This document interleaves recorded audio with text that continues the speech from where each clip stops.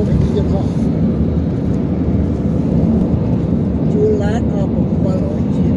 ខ្ញុំពលយកជា ferry ហ្នឹងហើយពលខួតជិតងាប់ពលជិះក្បាលហោះអត់ពលទេណាចឹងទៅជិះហើយហ្នឹងអត់ដូចតាមពីឡើងរហូតដល់ចុងខួតចារៀងការនោះរៀងទឹកបែ cherry ខ្ញុំរៀងអត់ដឹងព្រោះអត់ធ្លាប់ជិះក្បាលឆ្លងសមុទ្រអត់ធ្លាប់ដូចទៅកូនមានពុកមានអាកាសនេះក្នុងព្រៃក៏មានដែរ ហើយបើយើងជិះមើលយើងឡើងទៅទៅខ្យល់ អត់ដឹងចាការ ទៅ នោះ ទៅខ្យល់អីអី ខ្ញុំកើ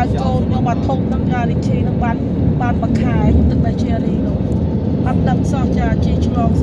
មុទ្រទៅនឹងមុតចិត្តងាប់ទៅមួយគេប្តីខ្ញុំអត់ទៅទៀតនឹងការហ្នឹង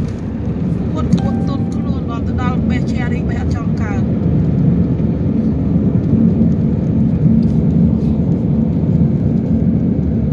ឥឡូវ apply អាយកអា residency visa ហ្នឹងអា visa ហ្នឹងប្រាប់ថាពុកអស់320ម៉ានទេម្នាក់ឥឡូវនឹង5នាក់វាទៅ ជិត2000ទៀតឥឡូវទៅផ្លូវណាអូសាប់ទៅសុខខ្មែរទៀតជួយឲ្យខ្ចី2000អាមេរិកមក